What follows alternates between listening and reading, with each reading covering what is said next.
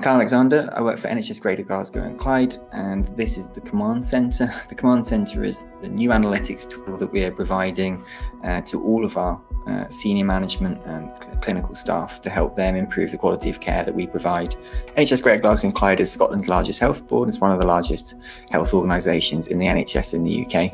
It has nine acute main sites. It treats around half a million patients every year as accident emergency attendances, and it treats about 250,000 inpatients every year. So it's a significant operation. We have huge amounts of demand on every single bed. We have to maintain turnover in order to maintain the right level of care for our patients and make sure that our occupancy levels don't go too high and that we have space for the next patient that needs a bed.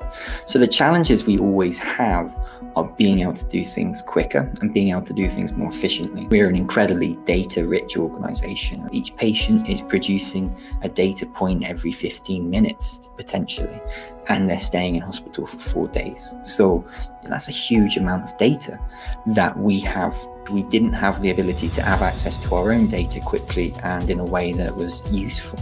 The command center is the product that gives us access to our data, and that is an enormous step forward. We've had a long working relationship with MicroStrategy, but the command center has taken us to another level in terms of the level of integration across multiple areas of the service. It's the single point of information that allows us to run our organization, that gives our operational managers the information they need, and it supports our clinical staff to make decisions around placing patients, about discharges, by creating a single data source, which the operational reporting platform does, it means you get rid of that kind of discussion. You can focus in on what matters, which you've got a single source of information that allows everyone to be working from the same page.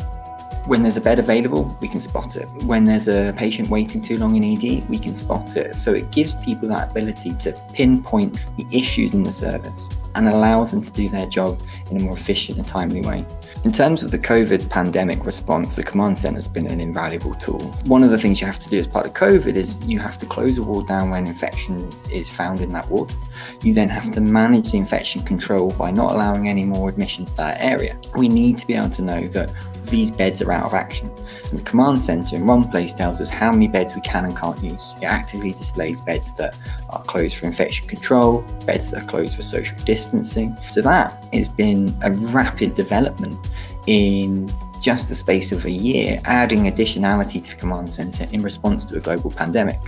I think the thing that this demonstrates is that it's an incredibly flexible tool, and actually, the close working relationship between MicroStrategy and our BI team has meant that as the pandemic has evolved and we've had to develop and learn how we treat this uh, novel virus, we've actually got to a position where our analytics has kept pace and has actually enabled us to be dynamic. What would have taken us, you know, days to collect the data and go through and find and refine and edit is now simply at the click of a button. And that's a massive transformation. And when you're thinking about the types of people being asked to look at this, senior decision makers right up to the you know, chief operating officer, medical directors, for example, making that data available at speed is a huge saving in time and in cost in terms of time wasted.